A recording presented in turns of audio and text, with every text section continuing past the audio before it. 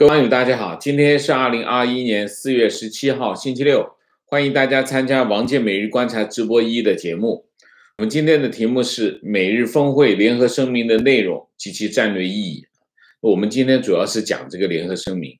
呃，昨天晚上十一点，呃，美国东部时间晚上十一点左右吧，那么白宫把这个联合声明就公布出来。那么昨天晚上就没有做，因为。呃，时间很晚了，那么美国大部分地方都已经开始休息了，所以我就没有做。那么今天上午来，呃，时间充裕一点，我们把这件事情掰开了揉碎了，慢慢讲清楚啊。先说联合声明本身，联合声明本身的发布就具有重要意义啊。为什么？因为涉及到台湾问题的联合声明，美国跟日本啊，那么是到了一九六九年。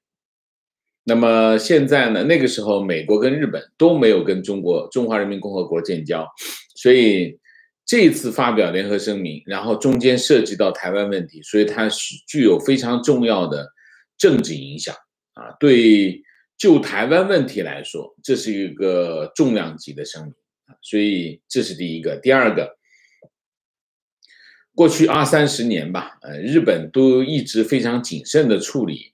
这个和美国和中国之间的关系，特别是呃过去四年，就是川普政府时代。那么川普政府时代，日本更谨慎啊，因为他需要寻找一个平衡。一方面，他依靠依靠美日安保条约啊，保护他在他作为一个和平宪法的国家，他需要美国的安全上的保护啊，这是第一个。另外一个。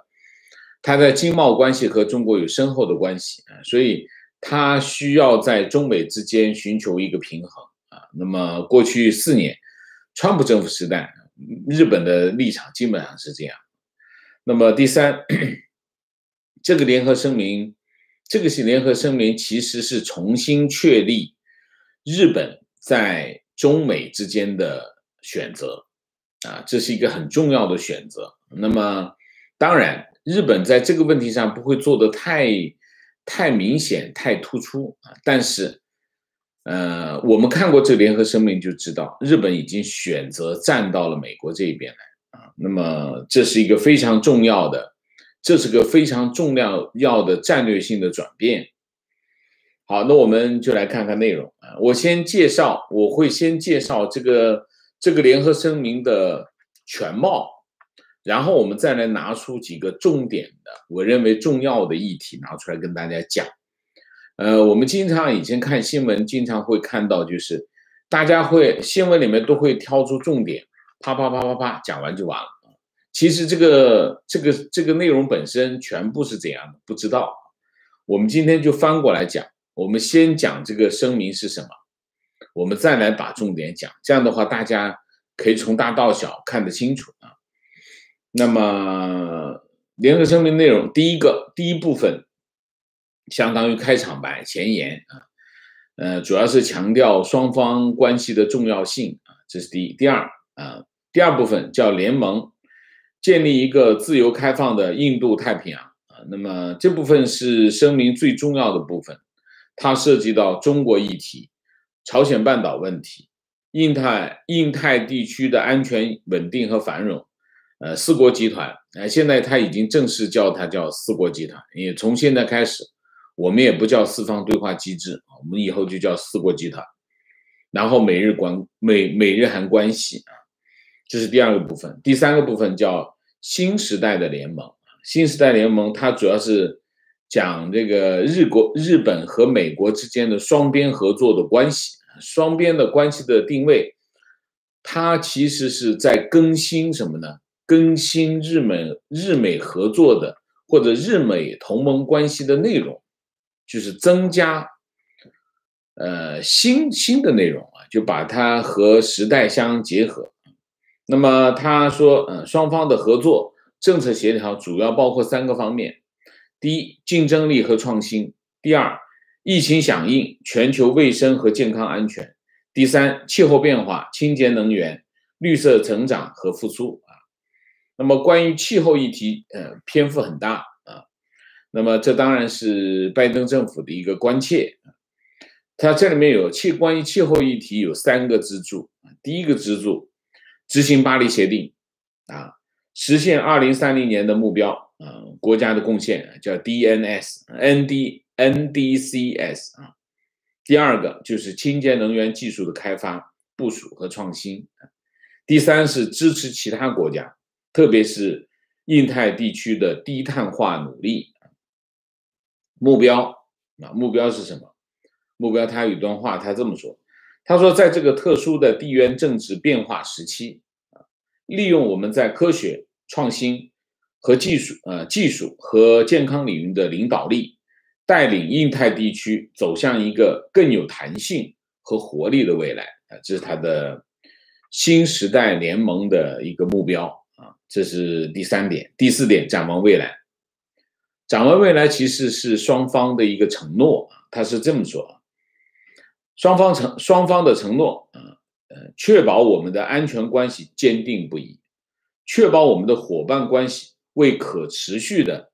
全球经济复苏提供动力，确保我们与世界各地志同道合的伙伴合作，领导一个基于规则的国际秩序。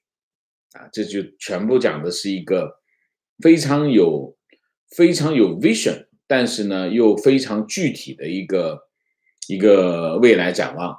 那么评价啊，我对这个我对这个联合声明的一个评价有三点：第一。这是一个全面合作的声明啊，那么不是仅仅是讲某一个领域啊，它是个全面性的合作，涉及国家的各个层面和地缘政治的各个领域啊，所以它非常的全面。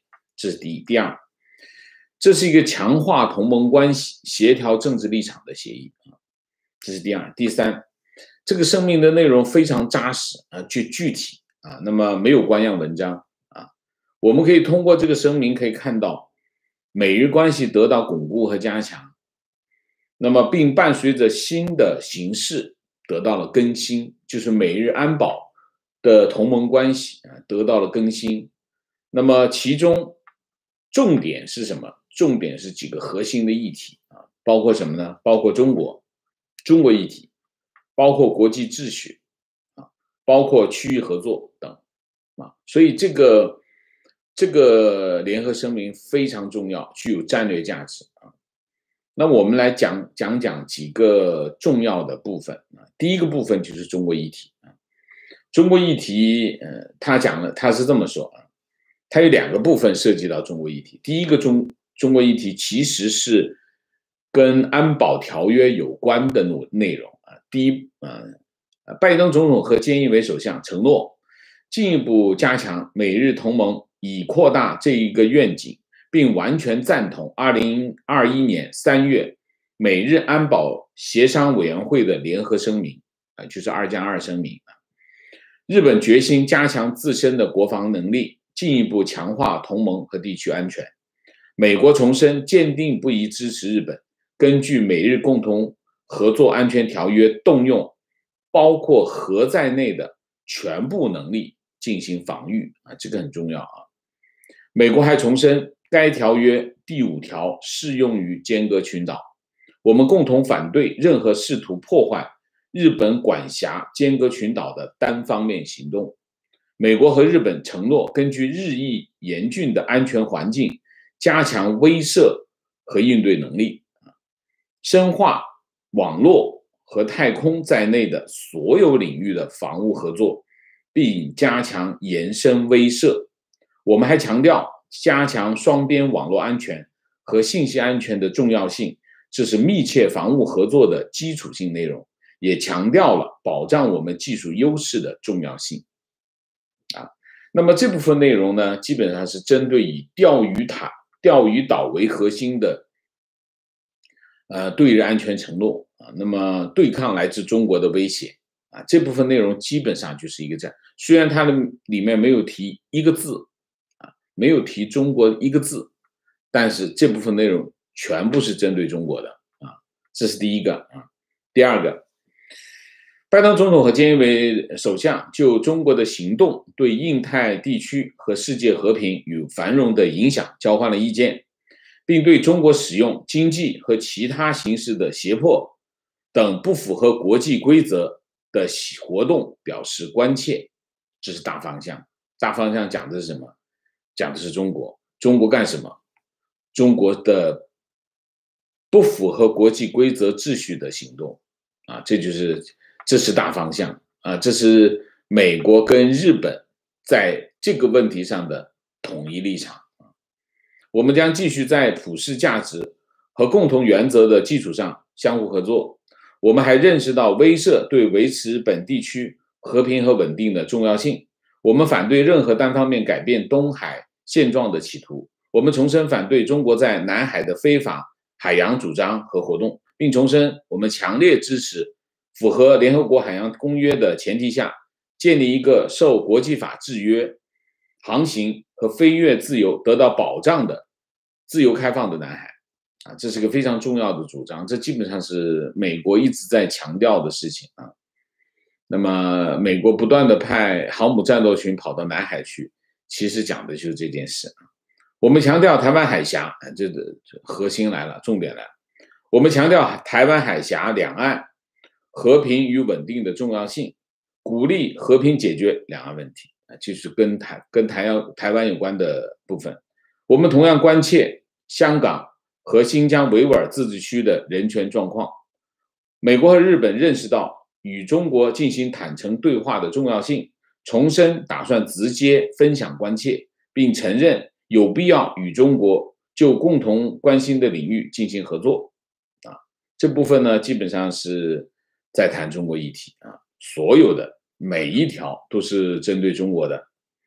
那么，他这个这个部分呢，第一。他的态度呢，就避免用激烈的字眼，什么谴责啊，这个用这个部分啊，基本上就没有用这种激烈的字眼。你看前面，前面赞同、强烈赞同、反对啊，这里面就表示关切啊，就尽量用刺激的这个字眼，但是呢，立场坚定啊，那么立场坚定明确。啊，这是这应该是美日之间的一个妥协啊，这第一个。第二个，嗯，所有美国和日本对中国议题的关切全部都到涉及到了啊。日本的领关切主要是在东海啊，东海这里面已经讲到了啊，这第一个。第二个，美国的美国的关切有几个？第一个，那当然这个这个部分也是跟日本有关切有关。中国不符合国际规则秩序的活动，这是，这其实是美国针对所有盟友采取的一个共同的立场，就是美国和盟友反对什么呢？反对中国不符合国际秩序规则的活动。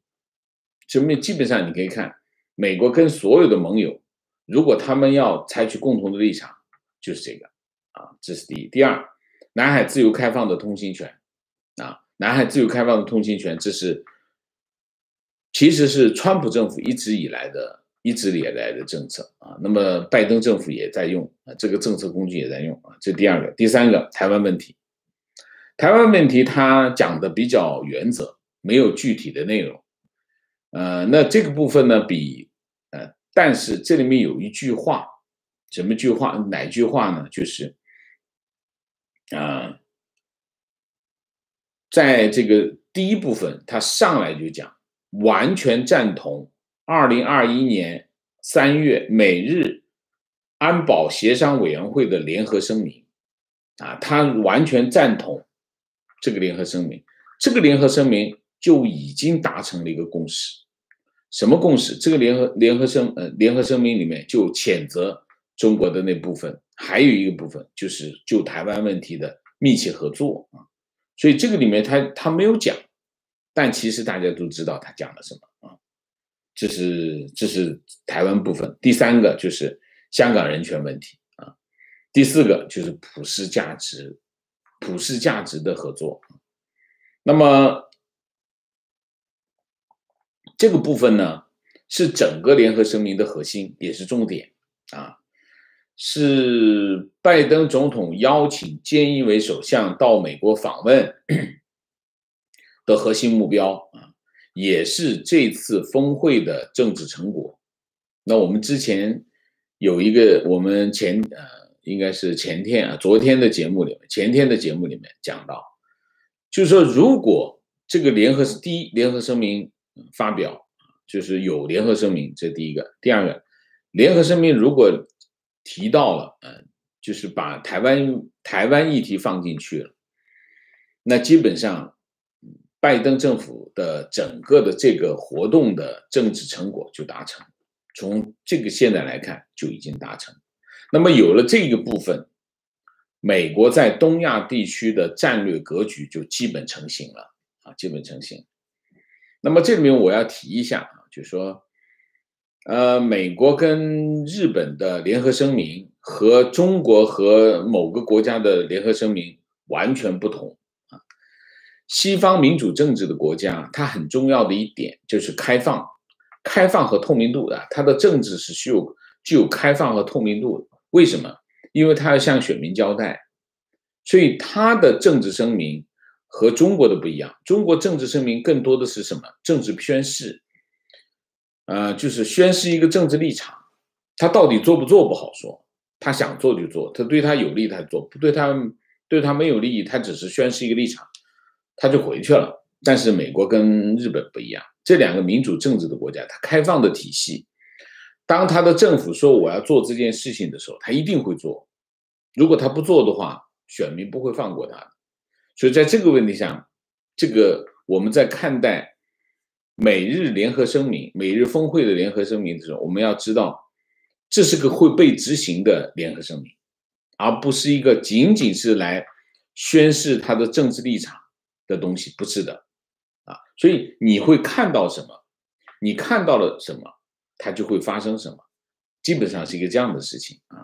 那当然发生的进程会有快有慢，有各种各种情况，但是基本上你可以看到，在美日声明里面，美日联合声明里面宣誓的东西都会发生，只是时间的问题，只是程序的问题啊。所以你你你基本上可以把联合声明看作什么？看作未来美日两国关系的一个基本法，啊，也可以看到美日两国在各个问题上的立场和合作啊。那在中国就不一定，所以你可以看中国跟其他国家，我举个例子，比如说中国跟俄罗斯啊，他们就联合国什么治理的一个联合声明，你看基本上是官样文章，就没有可执行性，就或者是他根本就没有打算执行。他只是宣示一个政治立场，啊，就这是不一样的。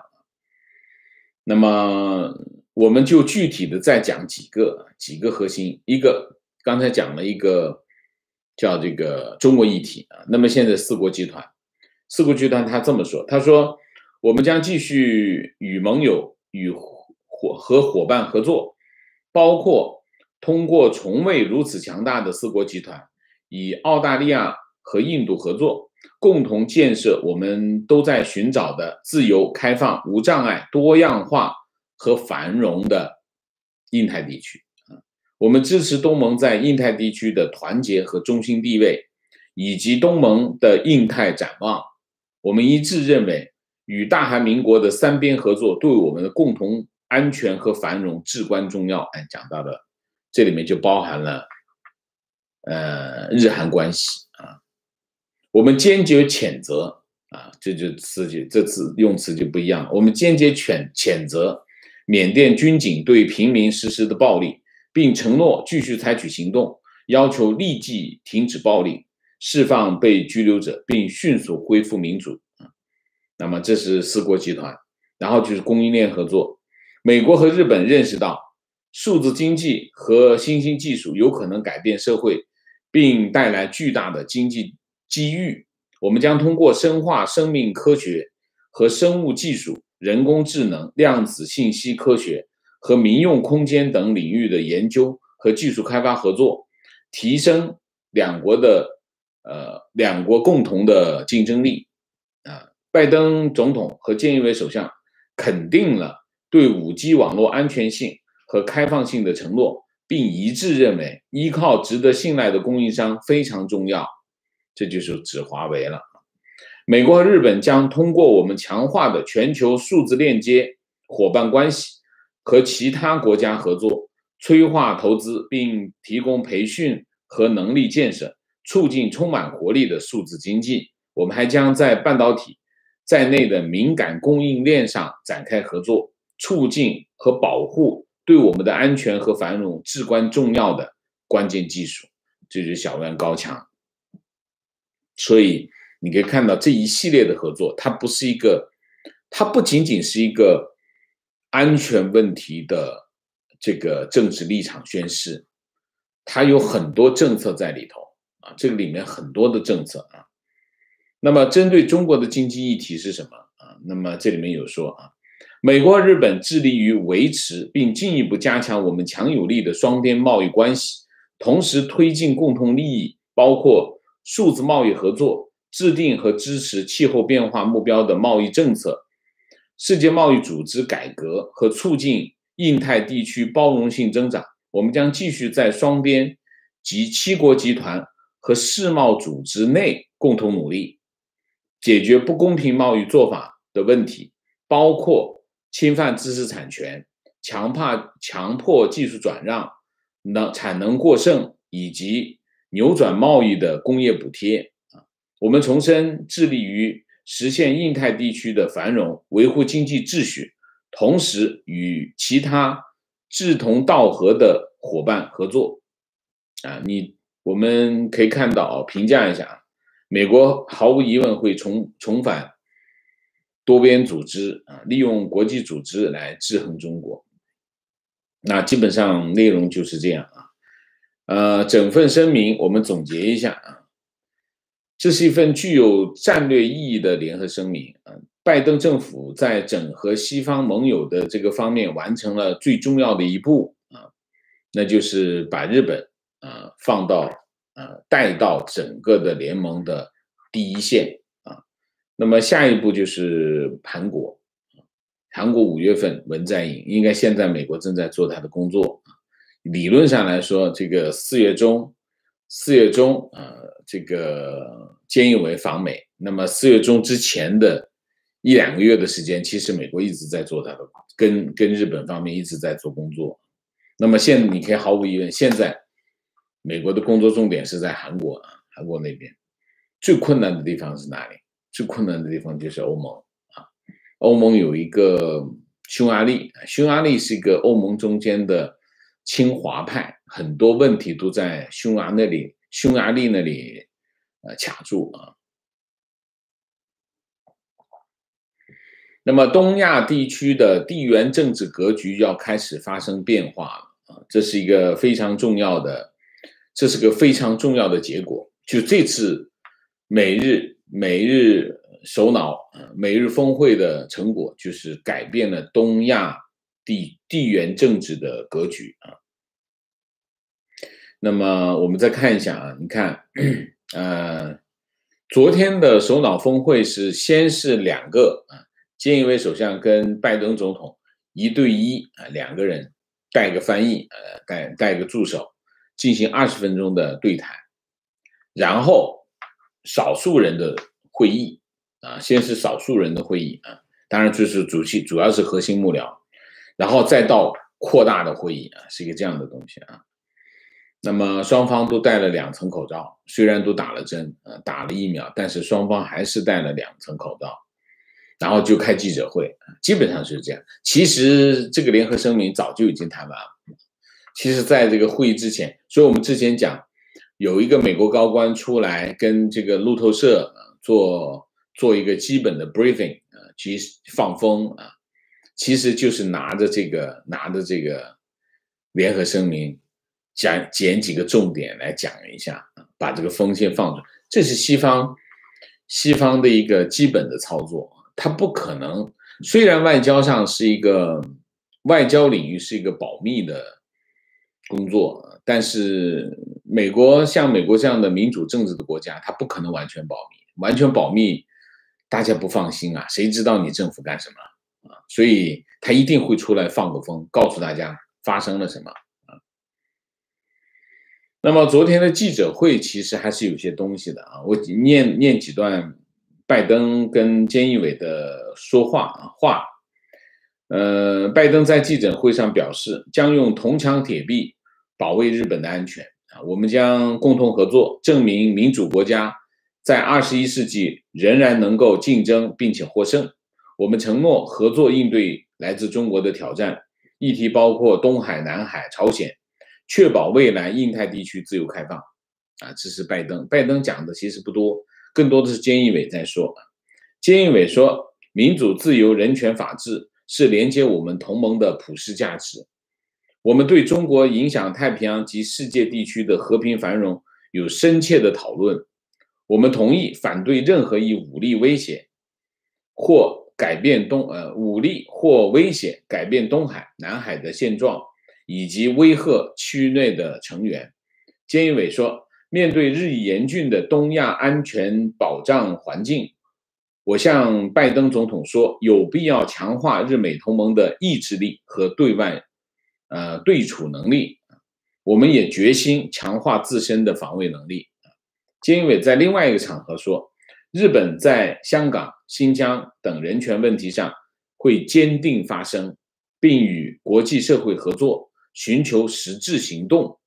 日本在处理中国引起的多个议题的基本政策是坚定地提出应该提出的主张，并强烈要求中国采取特定行动。同时，我们必须与中国建立稳定、具建设性的关系。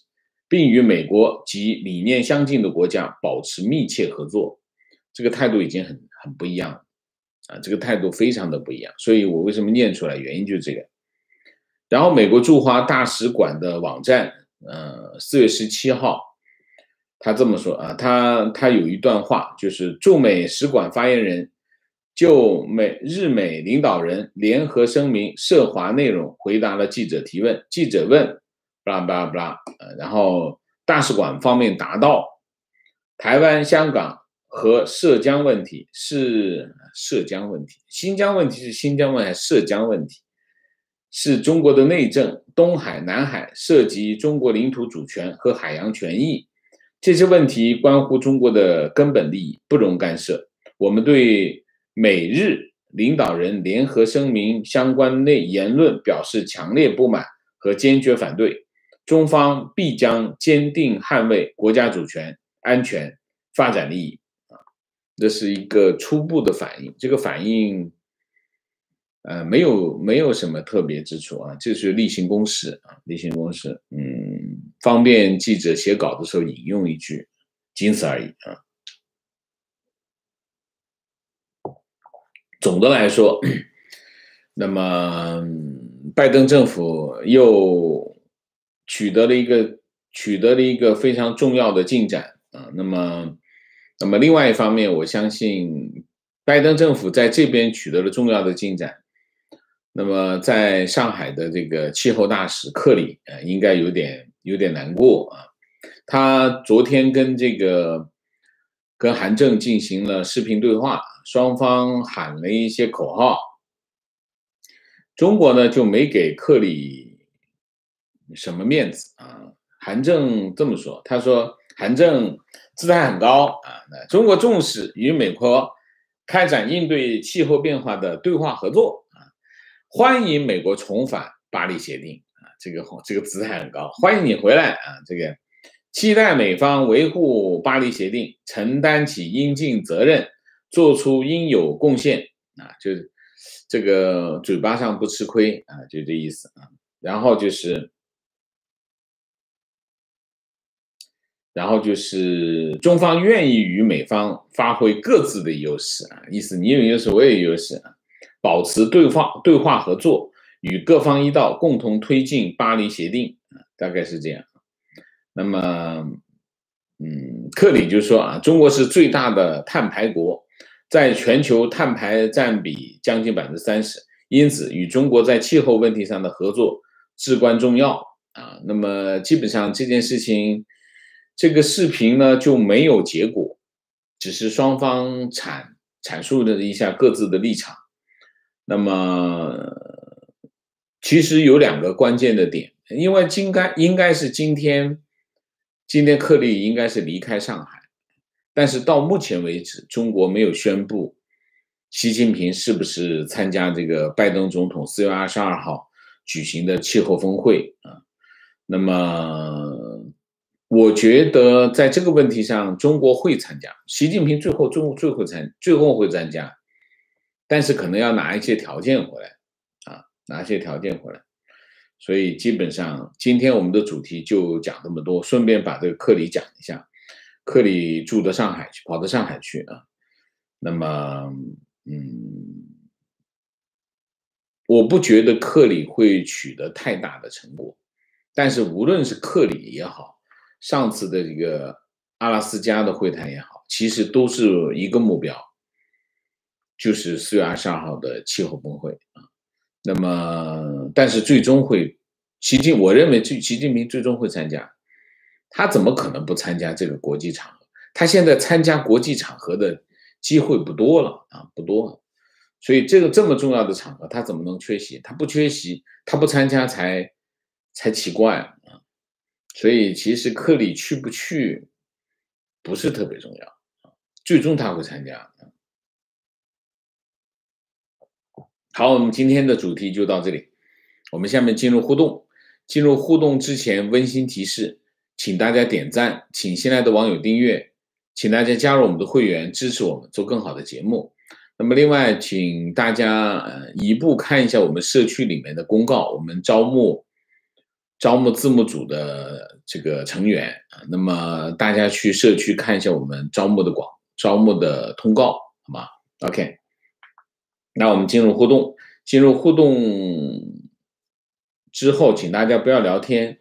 四个情况、问题、观点、情绪。好，明谢魏唐，谢谢 Job Smith，谢谢 Harry 冯，谢谢海棠秋，谢谢啊。提问：日本和台湾的关系一直是个隐晦的话题最近这段时间，有越来越多的台湾人开始讨论它。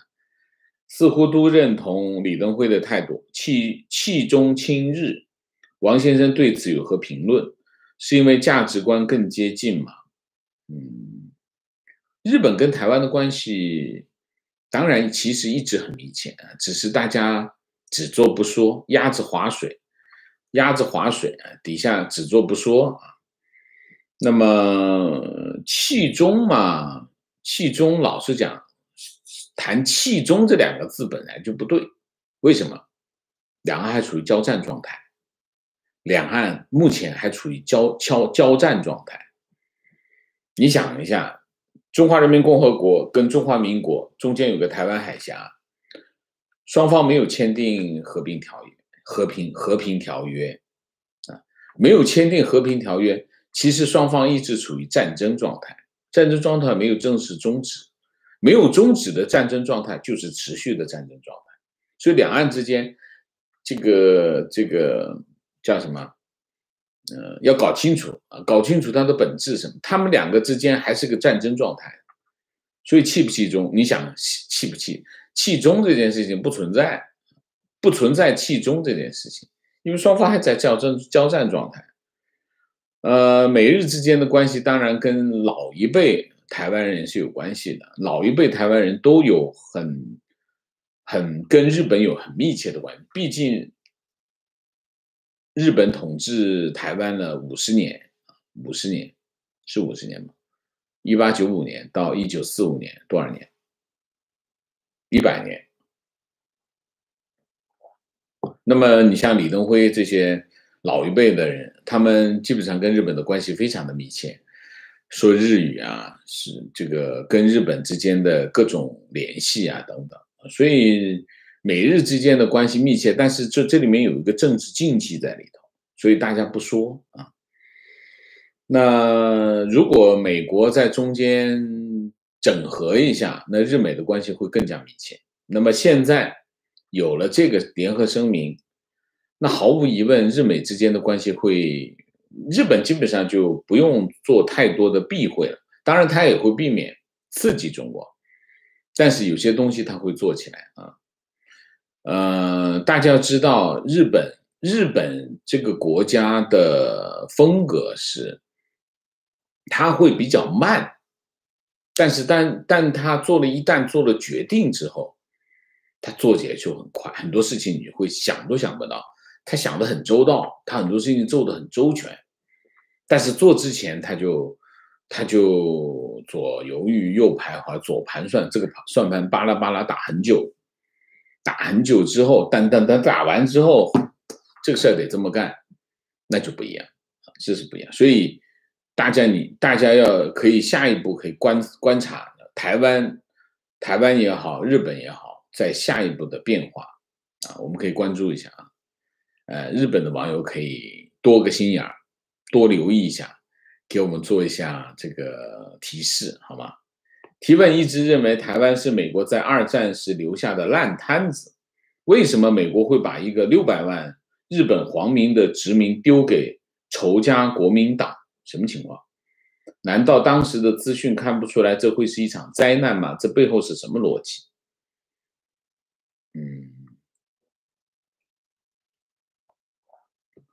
仇家国民党什么情况？我不知道你说的是什么，我我没听懂，你能你能再说一遍吗？啊，讲清楚，把你的问题不要不要隐晦，直接是什么说什么，好不好？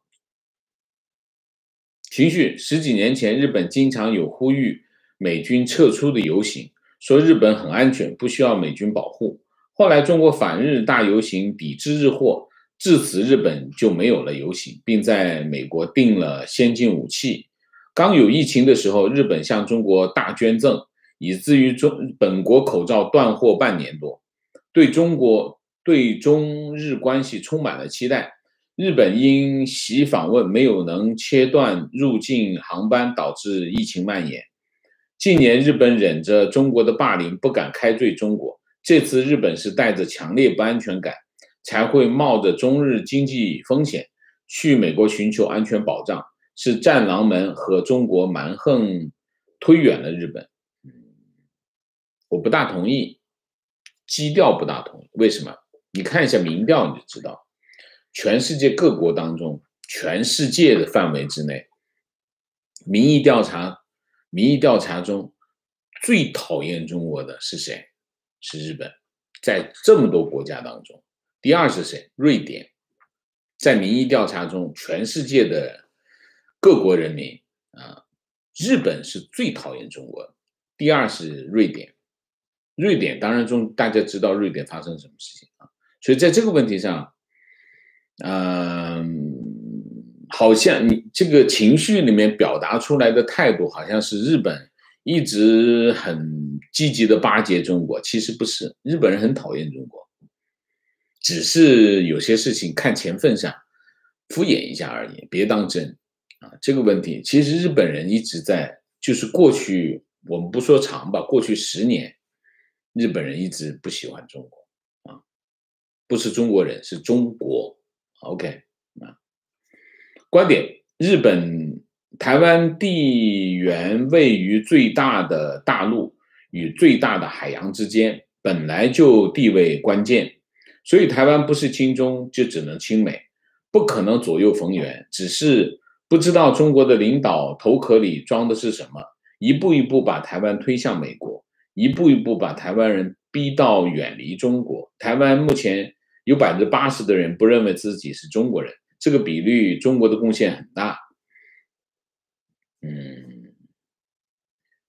台湾人要是觉得他跟大陆可以可以在一起的话，我觉得十年前想这些事情有可能，因为为什么？十年前嘛，中国经济非常的蓬勃，然后台商在大陆发展的也很好，也挣很多的钱。当时台台商呢，把厂子都搬到了，就是台湾经济共通空洞化，跟什么有关系？跟台商把厂子搬到了大陆有关系，那么台商基本上把所有的工厂都搬到搬到大陆去，然后呢，大陆台湾对大陆市场、中国大陆的市场依赖度非常的高，然后那个时候呢，中国又开放旅游啊，那么对旅游业又非常的依赖，这这两招基本上把台湾紧紧的吸到了中国的这个这个经济体上面去。我们之前讲过这种星球理论，那么十年前台湾人那那个时候中国的整体的操作还是怀柔的态度，就是就是慢慢的消化，把你吸到我上面，然后慢慢的分泌一些消化液，把你消化掉就好。其实这招其实是非常厉害啊，非常厉害。那么习上台之后就不一样了，习上台之后，他改变了对台政策，也改变了什么呢？改变了这个对对香港的政策，结果香港就做了一个非常。非常不幸的示范就是一国两制，所以习近平提出来的是什么？一国两制台湾方案，这是习近平的习近平的对台政策，意思就是我们不等了啊，不等了，我们不用时间换空间了，我们尽快的统一吧。方案是什么？一国两制台湾方案，结果把香港打成这个样子。香港鼻青脸肿，大家一看，哦，一国两制，台湾方案方案是这个样子，所以现在我们在讨论讲这个问题呢，就有点 outdate 啊，就是说，香港一就是当香港发生港版国安法这件事情之后，台湾人再搞不清楚他跟中共的关系的话，那么要么就是脑子洗抽筋了，要么就是被收买了。只有这两个原因，没有别的原因。因为你有正常的理智、正常的判断能力的人，都能看到，台湾要是走一国两制台湾方案的话，就是现在的香港。香港，香港就是马上给你看是什么情况。你是就什么中不中间道路？台湾其实从本质上来说，如果台湾你选择。跟他走到一起去，你就会被被消化掉。如果你不想变成他那个样子，你没有别的选择，只能跟他对抗。到现在为止，台湾人还还有一个幻想，幻想是什么？什么幻想？就是不跟中国对抗，不跟中国对抗，我不在第一线。这叫什么？这叫鸵鸟。包括日本也是一样，无论是日本还是台湾还是韩国。其实这三个国家非常清楚的，你们就在第一线，没有别的选择。包括像像印度，印度中间还有喜马拉雅山，你们中间啥都没有，就是个海，这些海一跨就过去了啊。虽然我讲还有台湾海峡有困难，但是你要知道，当你面对着它的时候，你就在第一线。台湾人就幻想我有一些技巧。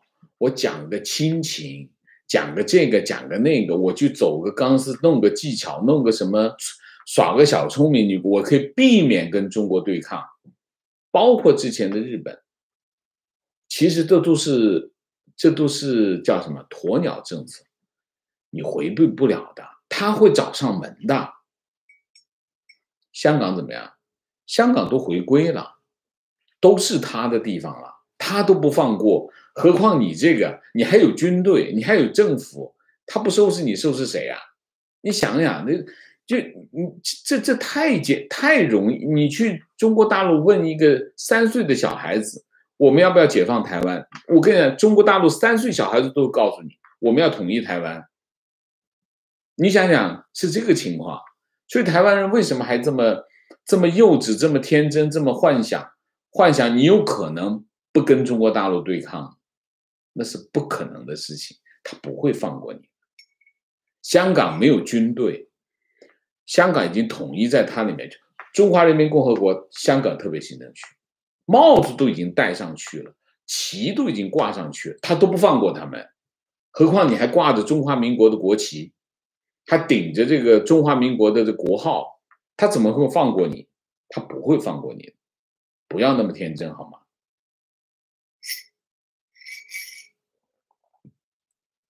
所以，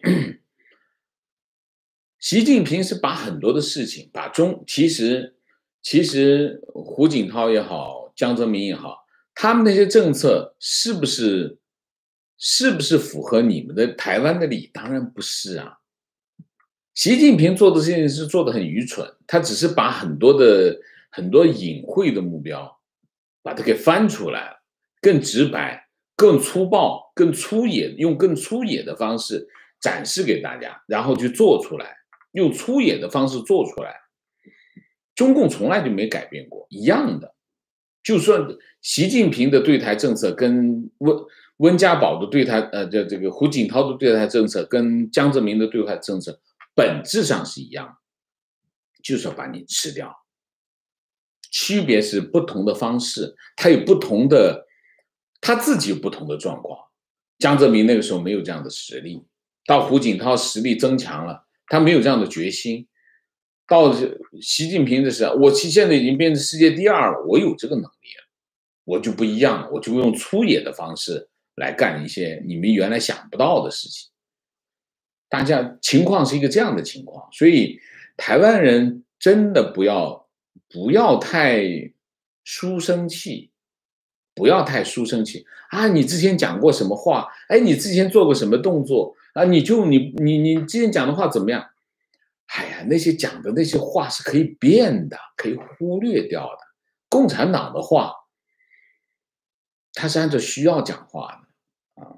你就天天在那那个挑那个字眼，来来给自己给自己呃自给自己自洽，没有用的，不会的。我劝台湾人看明白，本质是什么？本质就是不管谁当政。甚至不管是不是共产党在台上，大陆都是要吃掉你的。你换一个民主党上去，就算不是共中共，他都要吃掉你的。你记住这一条啊！所以，台湾跟中共之间的对抗，台湾跟大陆根本意义上来说是台湾跟大陆的对抗不可避免，不要幼稚了啊。观点：日本已经不是二战时期的军国主义，而是已经成为一个正常的国家。当然，虽然在一些问题上还没有处理好，但是我相信一个正常的国家会慢慢处理好历史遗留问题，如慰安妇等。中共国为了国内的仇恨宣传，所以没有对日本这个国没有，所以没有对日本这个国家的诋毁。但是，日本在大陆做出的贡献是不可磨灭的。对大陆技术、工业、疫苗的贡献可以说明这些。OK，观点：日本、琉球和西藏、新疆一样，千年来被中国皇帝册封过，所以按照中共的逻辑，日本包括冲绳是中国生生不可分割的领土。所以，对于来势汹汹的中国，日本从心底里讨厌中国。日本被中国册封过，什么时候册封的？日本？我就没听说过琉球，那是一个琉球，那是原来明朝的一个领地啊。但是那你说那是中国的领土，嗯，我们需要讨论。但是日本什么时候被中国册封过？我没听说过啊。观点用愿望代替现实是人类常犯的错误。OK，观点。中共所谓的武统台湾不过是一种口号，借此不断的升级武备，以武力要挟民主国家不要来试图改变中共对大陆的统治。OK，观点：当台湾民众看见香港的一国两制之后，中共的武力只能使用台湾人民的绝地，只能使台湾人民绝地反击了。OK，情况大概是十年前，台湾人产生了危机意识，最终在二零一四年太阳花学运。台台湾人对中国的危机感大幅上升啊！太阳花学运当年我是亲身经历的。马英九经济搞得很烂，大学中不断有耳语是马英九的服贸会开放中国劳工到台湾，抢走我们未来的工作。接着就闹大了，进攻立法院的学生只有三十几个，但闻讯赶来支援的大学生跟市民把包围立法院的警员反包围起来。各大学自发罢课去声援立法院，现在想想，好险当年挡住了。嗯，台湾，台湾过去，我觉得台湾人的危机意识还不够强，还不够强啊！台湾还要更强一点，危机意识要更强一点。我觉得其实马英九是很有代表性。马英九基本上是一只鸵鸟，然后他的头根本就一直在沙子里，没拔出来过所以到现在他还头还在沙子里没拔出来过。情况：日美声明的同一天，日本防卫大臣去离岛，离台湾最近的与那国与那与那国岛视察，还说了重新发现日南日台的距离是如此的近，台湾的安全是如此的重要。那提问。呃，欧盟议案必须二十七国全票通过才能执行，有无倡议改变议案通过的投票门槛？例如投二十或者三分之二？不行，这是这是欧盟的原则这种原则不会改变。那但是有没有办法？当然有办法，他一定会留后门的啊，所以这个。关键是要看欧盟自身的政治意愿。提问：克里无功而返是否会刺激拜登对中国的进一步强硬？这是不知道哎，会不会？那要问拜登，不能问我。日，我没有说这个克里无功而返，我只是觉得克里碰了一个软钉子。我认为，我认为习近平最终会参加。四月二十二号的峰会，他不参加，全世界都去了，连普京都去了，他不去，对他来说那太难受了，好吗？所以其实美国国务院要要好好的看一下我们今天的节目啊，就是说你想一下，以习近平这样的心态啊，全世界都去的那个 party，他没有去，他怎么受得了？受不了。所以晾他一下没关系啊。提问：越南近来被看好为产业链转移出中国的目的地，但越南会必然走向扩张的老路吗？还是只要越共党内只要不出现习氏的人物就没有扩张的风险？越共扩张吗？越共什么时候扩张过？你说的是什么？你是说越南当年侵略柬埔寨吗？好，我告诉你真相是什么啊？所以这就是中共洗脑，就是啊，越军进攻柬埔寨的时候，柬埔寨人民夹道欢迎，真心的欢迎。为什么？因为他们把红色高棉赶走了。红色高棉在越南干什么啊？在柬埔寨，红色高棉在柬埔寨杀掉了。当呃，那这个国家杀掉了，当时这这个柬埔寨只有不到四百万人，他杀掉了一百万人，柬红色高棉在柬埔寨，人间地狱。所以当时越南去入侵柬埔寨，与柬埔寨人民夹道欢迎啊，是一件这样的。所以你说他是不是走向扩张的老路？我估计你讲的就是这个。这个就是这个就是我们对历史的一个中共写历史啊，你就看到的是一个这样的东西啊。我觉得整个东南亚都欢迎越南入侵柬埔寨，为什么？红色高棉这个实在是太可怕了啊，就是这个问题啊。然后中国就支持红色高棉跟越南打，打了很久，所以越南做这件事情。当然，越南可以不去，越南可以不去的。越南做这个动作其实对他没有任何的好处。越南做这个动作有点像什么？有点像苏联越入侵阿富汗。所以这件事情他做了呢，他反而消耗的很大。观点有不同，台湾的有不是台湾的华人网友对台湾与日本的关系为什么会相对同温同种的日本更密切？身为台湾人，提出几点：一，老一辈台湾人经过日治时代与国民政府来台统治，国民党的统治手段相对日本人烂很多，老一辈会更怀念日本。二，解严后两岸交流曾经拉近国民的好感，但远远的千岛湖事件，近的两次疫情，中国在 WTO、WHO 的态度。特别比比较日本三幺幺和中国汶川地震，台湾都捐几十亿台币善款，但两岸国民反映南辕北辙，感情上与日本更近。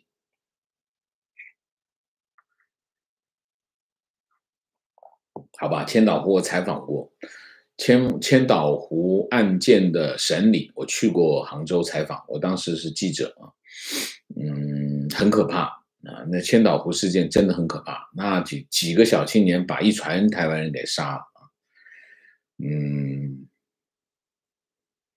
这几件事这么少吗？啊，提问。美日峰会是否为了四国集团建立更加巩固的基础？美日集美日峰会不是为了四国集团开的。四国集团当然，四国集团的核心当然是这呃日四国集团未来，我认为四国集团未来的目标，第一步要把这个韩国拉进来啊。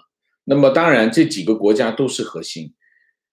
更核心的还是美国跟日本跟澳大利亚，还加呃印度没那么核心啊，没那么核心，因为它还是有点远啊，还是有点远。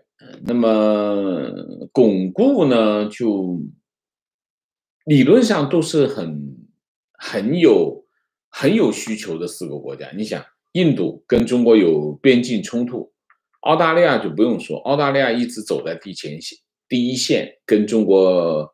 中跟中国抗衡，然后美国就不用说，美国是领导。日本，日本也有领土纠纷，所以实际上这四个国家走到一起来，有意识形态的问题，有利益的问题啊，有政治的问题，有军事的问题等等，所以他们本来就有很强大的基础。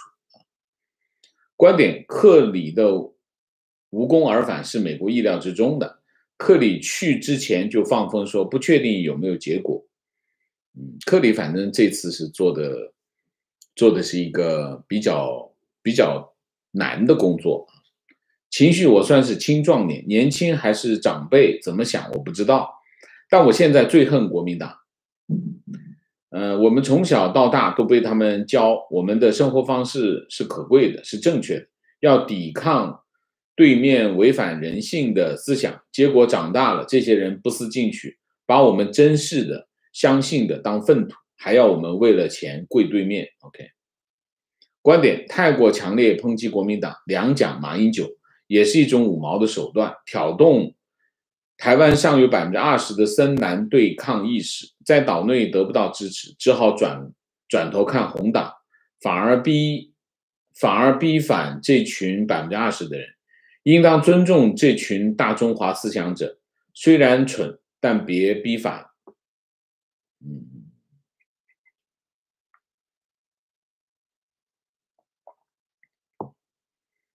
啊，我觉得，嗯，不存在谁逼谁吧，啊，谁逼谁，在台湾你还想逼别人，那是不可能的，怎么逼？拿枪吗？所以他们还是有一个选择，还是有一点幻想。我觉得深蓝就是幻想，幻想。我能够选择一条不跟中国对抗的道路，我能够做到这一点。仗让别人去打吧，对抗让别人去做吧，我们跟他赔个笑脸，需要的时候磕个头，我就能够安心在这待下去，甚至有的时候还能渔翁得利。我觉得深蓝的想法就是这种想法，就是那种，嗯，火中取栗吧。但是其实这是不可得的啊！虽然中共会经常传点话，弄点小好处给他们，但是真的是，嗯，这是绝对是不现实的啊！提问，请问王老师，马华为何感觉很支持中共？常常遇到马华一天到晚跑来台湾喷台湾为何不跟中国统一？而且我很确定，不只是网络上。我马华跑来台湾读书的朋友，他来了台湾后不支持统，不支持统一，但他表示身边的马华都认为台湾应该统一。马华为什么有这种政治倾向？嗯，马华洗脑吧，我觉得。大家千万不要小看 中国对东南亚的影响啊！中国对东南亚的影响。比我们在座的所有人的想象都超出了我们的所有的想象，呃，有很多层面。先大众传播层面，就是中国的电视剧啊，中国的电视剧，中国的这种电视节目啊，中国的电影，在东南亚地区已经取代台湾跟香港，所以中国在文化上的影响非常的大，这是第一个。第二个啊，在对东南亚的渗透，那实在是太容易了，好吗？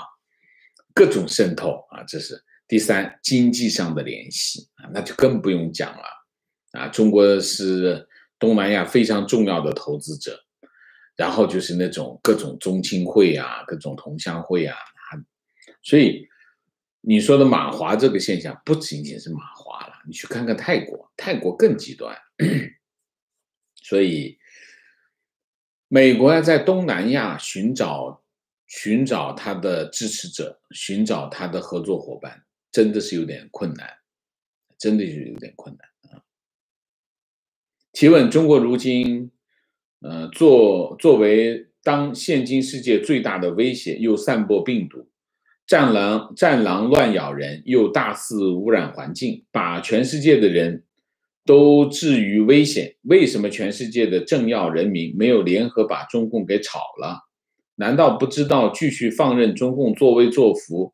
死的就是我们全部的人，嗯，这是有个认识的过程，这是一个认知的过程啊，嗯，你不跟他对抗，你不知道的，或者你不看到他跟其他人对抗，你是不知道的，所以，而且，嗯，你看到经常看到媒体上都在说其他的故事的话，你就会忽略这部分啊。提问：韩国对中国的经济依赖与韩国对美国的安全依赖依靠，在中国不威胁韩国的情况下，韩国县县政府是否会更倾向中国？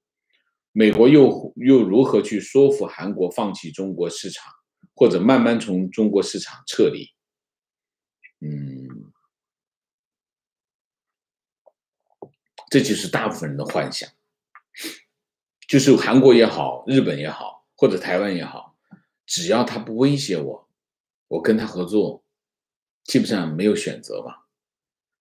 但是我经常讲的一个故事就是，这个蛇跟乌龟的这个故事，蛇这个蛇要咬乌龟这件事情是必然会发生的，只是个时间问题。啊，一不小心它就咬你一口，为什么？它本性如此，所以。呃，你说这个，你说这个，在中国不威胁日韩国的情况下，这个情况存在吗？不存在，不存在的啊，它只是一个豁然性的空时空而已。但必然性的时空就它一定会威胁他的，所以在这个问题上，我不觉得，我不觉得美国去如何说服他。美国其实不用太怎么。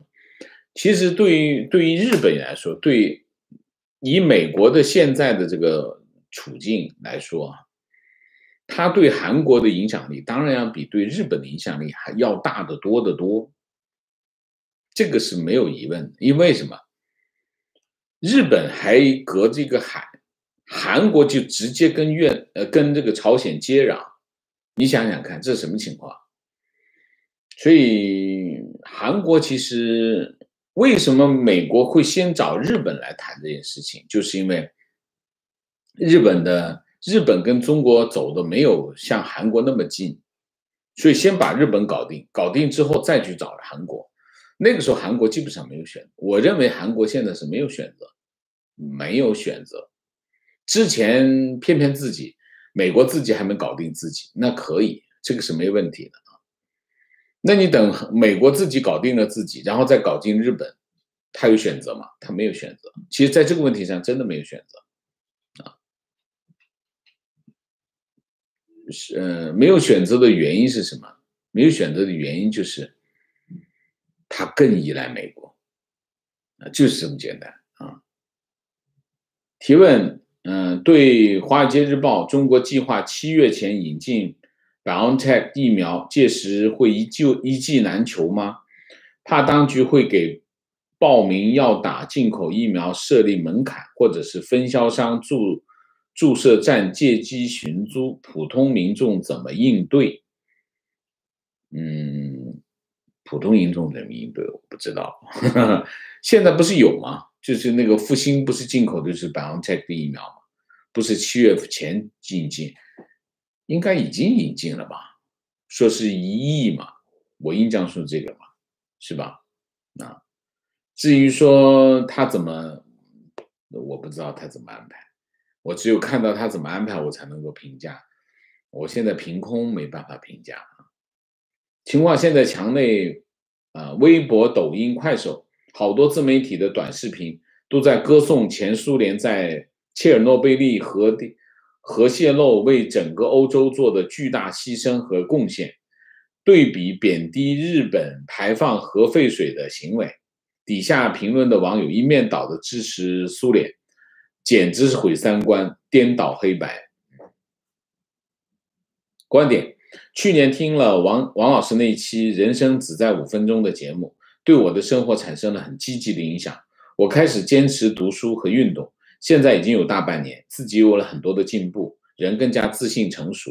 感谢王老师，祝王老师节目越办越好，谢谢。嗯，感谢王老师的自律和坚持，向您学习。呃，谢谢啊，谢谢你的肯定，也谢谢你的，谢谢你的改变。啊，我们我经常讲啊，就是说，如果一个人不能管住自己睡觉，就管不住自己的起床。